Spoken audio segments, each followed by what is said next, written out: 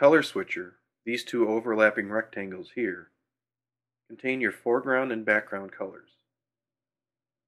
The foreground color is always the one that will be used by the brush, pencil, or fill tools to apply to an image.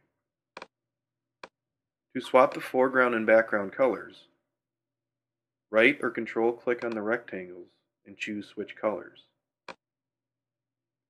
I can switch back to my default colors which are black and white using a right click also. This brings us to the mask mode buttons. Using a mask is one more way to make selections.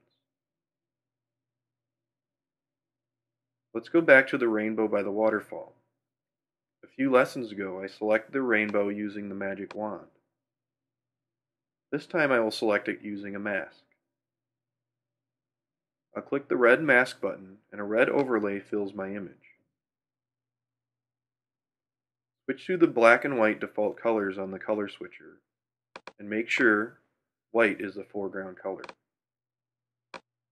I'll then choose the brush tool with a soft brush and begin painting over the rainbow. As I do, the red overlay is removed.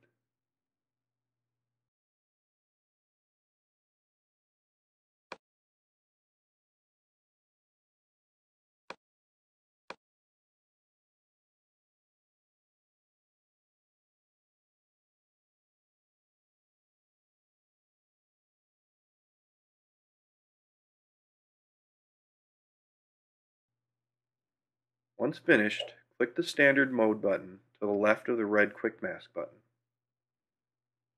The area that had the overlay removed from it becomes a selection. To adjust the selection further, click back into the Quick Mask mode.